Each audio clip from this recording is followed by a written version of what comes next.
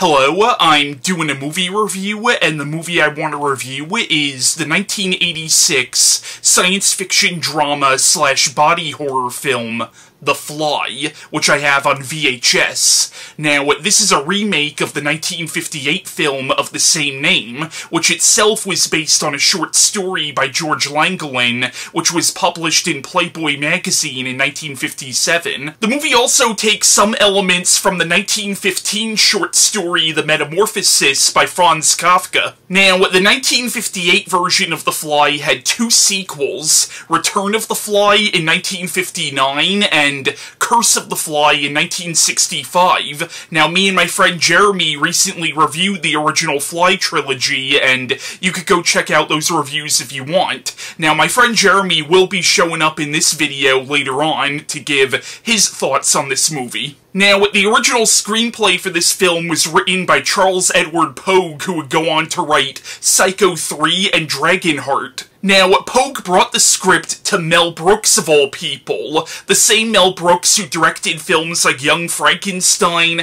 High Anxiety, and Blazing Saddles, and it was his production company, Brooks Films, that financed the movie. Now, it was producer Stuart Cornfeld who suggested David Cronenberg as the director.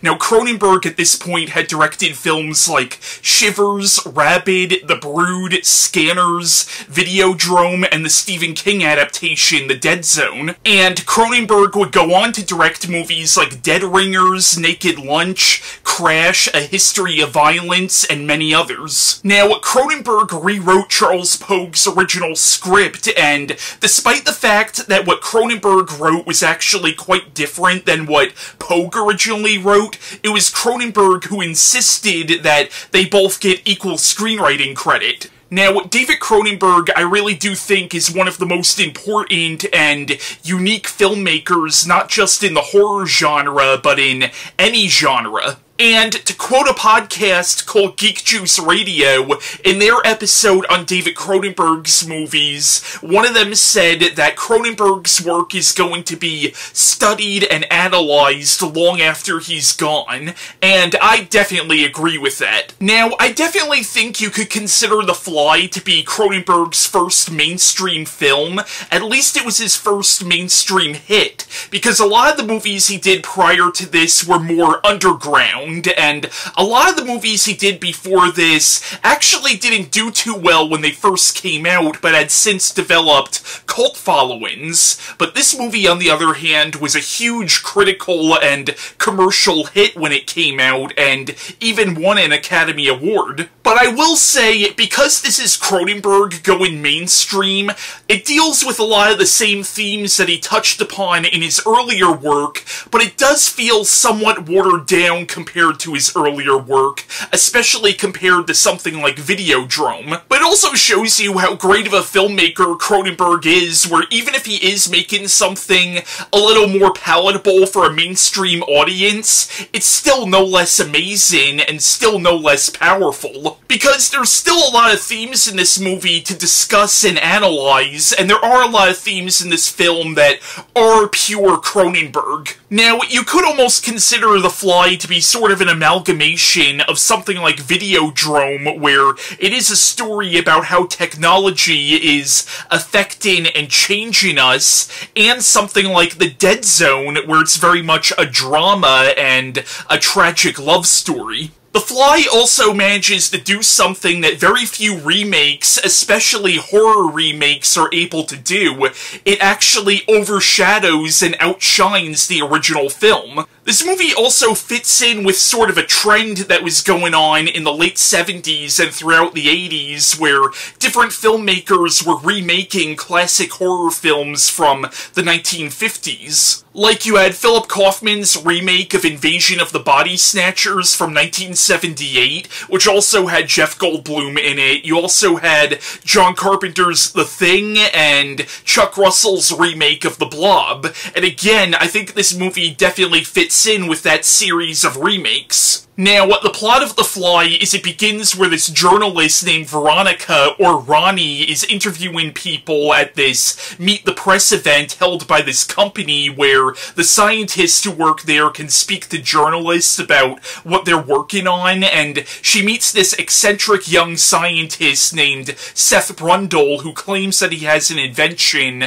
that's going to change the world as we know it. She, of course, doesn't take this very seriously because everybody there is saying something like that, but he convinces her to go back to his place and he shows her that he has created a machine that can actually break things down on a molecular level in one place and then reconstruct them in another place. Basically, he has invented a teleportation device. So, as a journalist, Ronnie starts documenting Seth's experiments with this machine, and he wants to test it out on living things. But throughout the movie, they start to fall in love with each other. But one night, Seth mistakenly thinks that Ronnie is cheating on him with her old boyfriend, so he gets drunk and decides to test the machine out on himself. Something that he probably wouldn't have done, or at least he would have been more careful if he was in the right frame of mind, but he tests it on himself, and unbeknownst to him, a fly gets into the machine with him. But because the computer that controls this teleportation device was only programmed to transport one genetic pattern, it gets confused when the fly gets in there and decides to splice Seth's genetic pattern with that of the fly's. But Seth comes out on the other end feeling perfectly fine, but he doesn't realize that his atoms and DNA have literally been merged with that of a fly, and throughout the course of the film, he slowly starts to mutate into something else. And Ronnie can do nothing but watch in horror as this person that she loves is changing both physically and mentally into a creature that never really existed before. Now, the film stars Jeff Goldblum as Seth Brundle, and it is an amazing performance, because he starts off the movie so charming and so likable, which makes his slow and painful transformation into Brundlefly, as he calls himself, all the more heartbreaking. And I liked how even when his body is literally starting to break down and he's starting to metamorphosize into this creature, he still has kind of a sense of humor about it, which partly is because he is going insane, but you also kind of get the idea that he's still trying to maintain sort of an optimistic mindset even when it's clear that all hope is lost, which is a very relatable thing. And the movie really showcases what a trooper Jeff Gold Goldblum is that he was able to sit through those long hours in that heavy makeup and was able to act through that makeup, and he never complained apparently. And apparently when he was in the full body makeup, he couldn't go to the bathroom. It shows you how committed to the craft he really was. And Stephan Dupuis's makeup effects combined with Chris Walas's special effects is amazing, and they definitely deserved the Oscar they won for this because it's so realistic. It doesn't look like makeup effects. It looks like we're actually watching a man slowly transform before our eyes. In the film, Geena Davis plays Veronica, and she also does a great job, and her and Jeff Goldblum have great chemistry together, which might come from the fact that they actually were dating at the time. And they both have these quirky personalities that makes them so likable and so relatable, which again makes what happens in the film all the more tragic. You also have John Getz as Ronnie's boss slash ex-boyfriend Stathis, and he is such a creep in this movie. In the beginning, he outright stalks her. And you get the idea that when they were dating, it probably was an abusive relationship to some degree. Or at least very toxic, because Stathis is an asshole. For all intents and purposes, he is sort of the antagonist for the first half of the movie. But he's also a three-dimensional human being, and despite the fact that their relationship is very toxic, he's also shown to genuinely care for her and genuinely care about her situation. And by the end, he kind of becomes the hero in a weird way. And that's a very Cronenberg thing to do, I think. Taking this sleazebag and making him ostensibly the hero of the film. And I liked how, to one degree or another, the three protagonists of the film are socially broken people. Like Seth, you could already tell, even though he is very charming, you could tell he's kind of a socially awkward guy and probably hasn't had a lot of close friendships or relationships during his life. And Ronnie kind of seems to be the same way. It doesn't seem like she has a lot of close friends and family, which is probably why she keeps going back back to Stathis for help despite what a dick he is. And Stathis clearly has some problems of his own, so I liked how the film is really about a love triangle between these three fundamentally broken individuals. Now, Leslie Carlson, who played one of the villains in Videodrome, has a small role in this movie as an abortion doctor. And David Cronenberg has a brief cameo in the film as a gynecologist in what is revealed to be a dream sequence and is probably the film's most famous famous scene where Ronnie gives birth to a giant maggot. Another unique thing about The Fly is it's a monster film where the horror does not come from the monster itself, rather the horror is in watching this man slowly become a monster. And when Seth's metamorphosis first starts, there's sort of a debate on whether or not it's contagious, and there's actually sort of a debate on whether Ronnie should even go anywhere near him. And some critics have read this as a thinly veiled metaphor for the AIDS epidemic, because keep in mind, in the 80s, AIDS was just discovered, and very little was actually known about the disease, and unfortunately there was a lot of prejudice against victims of the illness. But you could also look at what's happening to Seth in the movie as a metaphor for not just AIDS, but cancer as well, or any sort of terminal illness, and really the film is about the horror of watching a loved one slowly succumb to a terminal illness. Although Cronenberg has said that the film is actually a metaphor for death in general, how everybody we know is eventually going to die, how we are eventually all going to die. And Cronenberg had a very interesting quote about death. He said, We've all got the disease, the disease of being finite. Death is the basis of all horror. Another interesting theme that the movie touches on, and this is a theme that runs all throughout Cronenberg's work, especially Videodrome, is how is technology affecting us, and how is technology both changing us as a society and as a species? Because when you think about it, everything that's happening to Brundle in the film is happening because of a computer glitch. A fly got into the machine and the computer got confused and spliced Brundle's DNA with that of the fly's. And basically the computer literally changed his flesh. And by the end of the film, his flesh merges with the machine. And something this movie does really well is it really analyzes the concept of teleportation, I would say even more so than the original The Fly.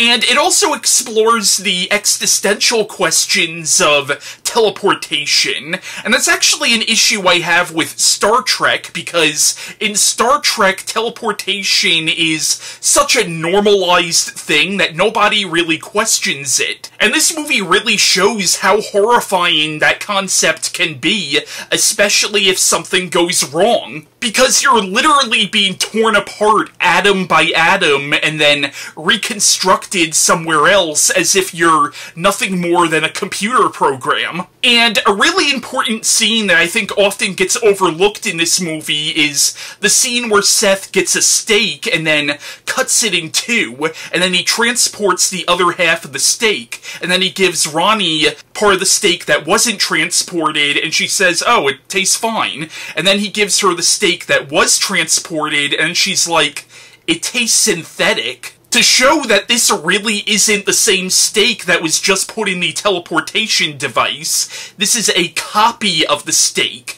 This is the computer's interpretation of the steak. So that begs the question, when Seth went through the telepod, Was what came out on the other end really him, or was it just a copy of him, and was the original Seth killed, and this new Seth simply has the memories of the old Seth? And when he starts to fully become Brundlefly, he says, I am the offspring of Seth Brundle and the Fly. So he acknowledges that Seth Brundle and the Fly that went in with him are dead, and what came out is a new creature. Now, as I mentioned earlier, the film does take some elements from the Franz Kafka novella, The Metamorphosis, which is a story about a man who wakes up one morning to find he has been transformed into a giant cockroach. And in that story, his family ends up turning on him, not so much because he's turned into a giant bug, but because he can't provide for them anymore.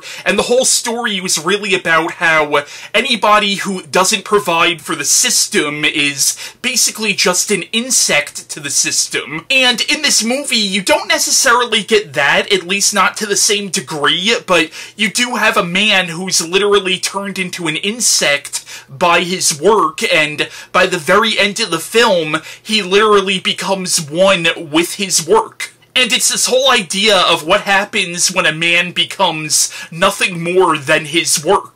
And one of the most heartbreaking moments in this film is a scene where Brundlefly tells Ronnie, I am an insect who dreamt he was a man and loved it, but the dream is over. Now, it would be a sin not to mention Howard Shore's amazing score for this movie. But yeah, The Fly is a great movie, it's a great horror film, it's a great science fiction film, and it's also a really good drama as well. And while I don't hold it up on the same level as something like Videodrome, it does definitely deserve to be considered one of David Cronenberg's best films. Now, The Fly had a sequel in 1989 called The Fly 2. Now, I don't know how well that did financially, but I know critically it was considered to be kind of a disappointment. But that one did end up developing a cult following of its own. There was also a comic book series called The Fly Outbreak, which picked up where The Fly 2 left off. And in 2008, there was actually an opera based on this movie, which is just bizarre to me, but David Cronenberg actually did direct the first production of the opera. And a few years ago, David Cronenberg actually did express interest in doing another sequel to The Fly, which I would love to see what he would do with this story all these years later. But at this point, it's probably not to happen, although I have heard that David Cronenberg's son is doing some really interesting work, so why not give the project to his son? Now, before I end this video, I want to cut to my friends Jeremy, Christian Feliciano, and John given their thoughts on David Cronenberg's The Fly. The Fly is, in my opinion, one of the most grotesque, disgusting movies I've ever seen.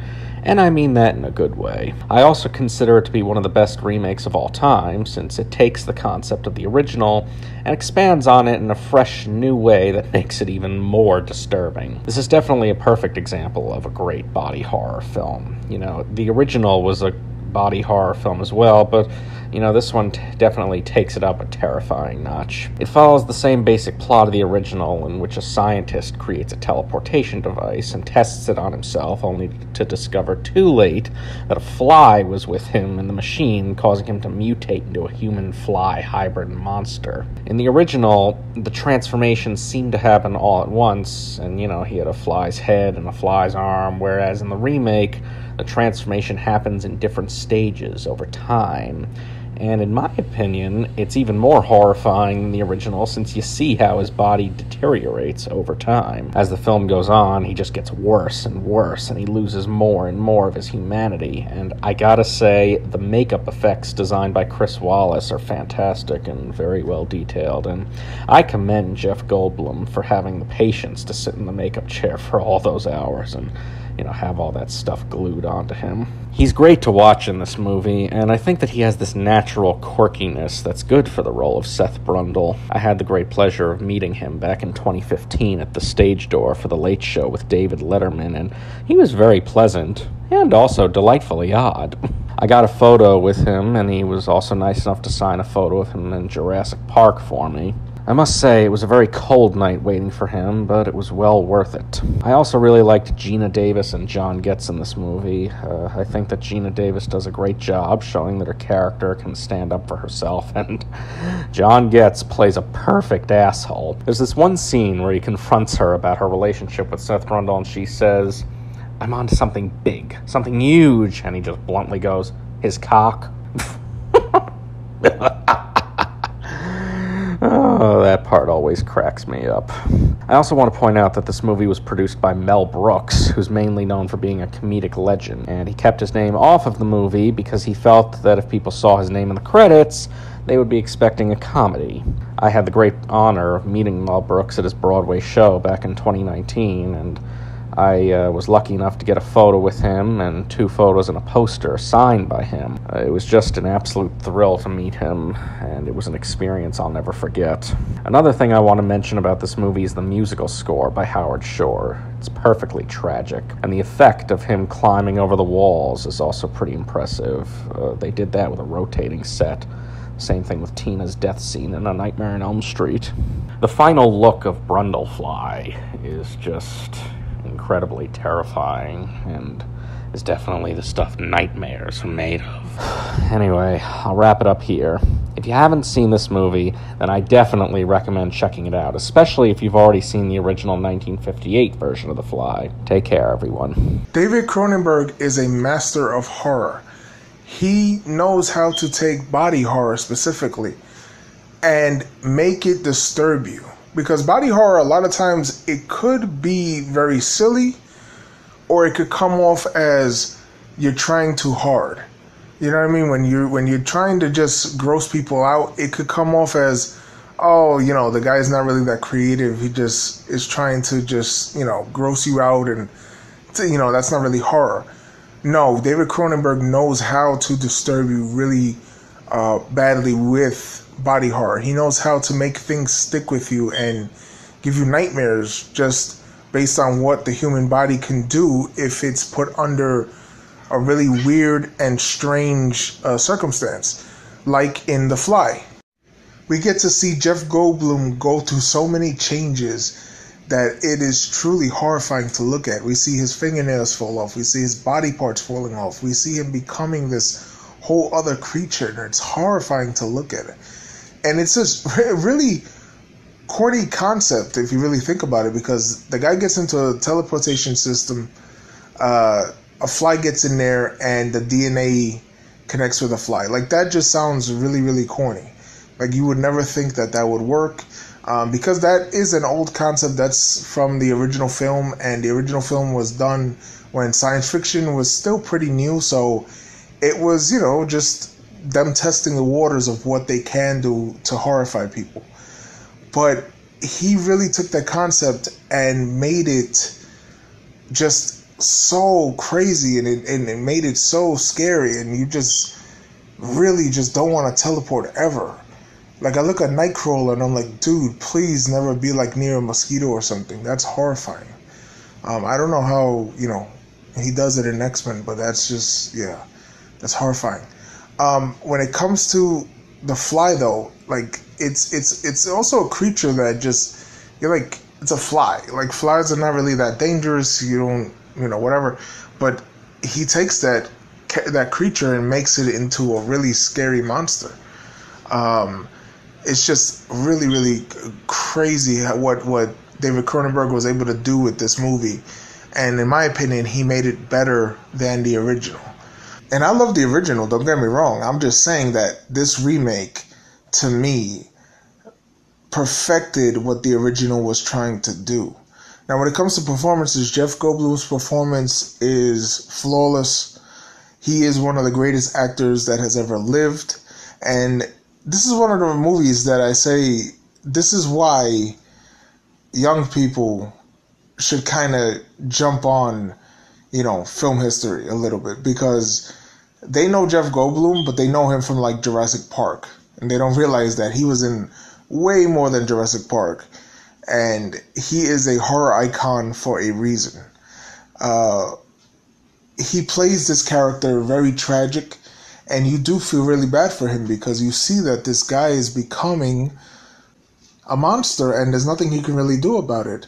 At the end of the day, it's gonna happen, and you know, no spoilers, but he may have to be taken down by the one who loves him the most, and it's really tragic to see. And the beautiful thing about this film is that there is a love story in it, a very strong love story at the center of this film, and you get to see the love start to fall apart because he's becoming something else, and he's becoming more psychotic and and well, not psychotic, but just his instincts for being a fly creature are, are taking over, and it it's it's really tragic and I love the way this film just oh it's just it's beautiful. David Cronenberg is just like I said again, he's a master, and I think that this film still stands up to, to till today. The graphics are amazing. Uh, the horror, like I said, is terrifying. The performance is beautiful. Everything about the film is just a masterpiece. I mean, it's just it's just a masterpiece, and I highly recommend that everybody check it out. Uh, if you've never seen The Fly before, please check it out. This movie needs to be su- supported, and this is what people need to watch to see. This is how you make a film. You know what I mean? And yeah, uh, thank you so much for watching. Uh, please go check out The Fly, and yeah, thank you so much. Bye bye. I think another reason why the original does not get much love and respect and attention is because it's overshadowed by the remake with David Cronenberg. This movie is a great example of a good horror remake I thought David Cronenberg did a great job remaking The Fly, making it his own, and changing it up a little bit. I'll admit, I saw this first before knowing there was an original Fly. I love how we see Jeff Goldblum become the Fly slowly through phases, as a metaphor for old age ten times faster. Not only does he become the fly slowly, the teleportation alters his personality, and he changes as a person. He goes from a nice, quirky guy to a monster. I love the gross out special effects. In my opinion, I think this is David Cronenberg's masterpiece, but that's just my opinion. I know you'd think that video Videodrome is his masterpiece, Christian, but that's okay. The part when we see him arm wrestle the guy at the bar and he breaks the man's wrist, after seeing this movie, I haven't arm wrestled since then. No joke, I refuse to arm wrestle. Once again, thanks, Christian. So, I hope you enjoyed their takes on this movie. That was my review on The Fly, and my next movie review will be on The Fly 2.